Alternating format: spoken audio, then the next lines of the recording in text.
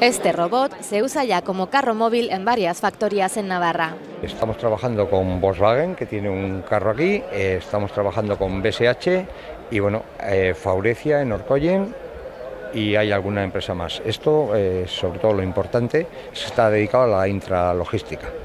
Entonces las empresas están evaluando y dándose cuenta de que para qué tienen una persona simplemente moviendo carros cuando lo pueden realizar robots. Es la llamada robótica colaborativa. Plantearse que si yo tengo este robot y tengo otro tipo de robot colaborativo, lo puedo poner encima e ir a diferentes puestos de trabajo forma parte de la fabricación del futuro, como la impresora 3D, que va a suponer un cambio de paradigma en la forma de fabricar.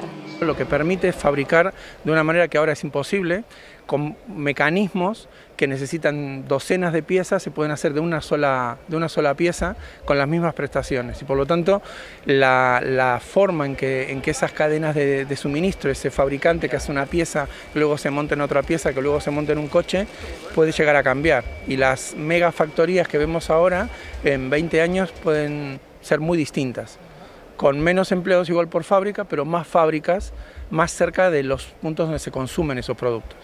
El vehículo eléctrico simplifica mucho la mecánica actual. Ahora un coche autónomo te va a permitir estar más atento al interior, al ruido que hace, a las texturas, a si te gusta ese color, igual te das cuenta de detalles del coche que no veías y los interioristas de los coches están teniendo en cuenta todo eso para fabricarlos mejor, fabricarlos de otra manera, que sean más a menos, que sirvan para ser compartidos. Un coche que lo van a usar igual 12 personas a lo largo del día.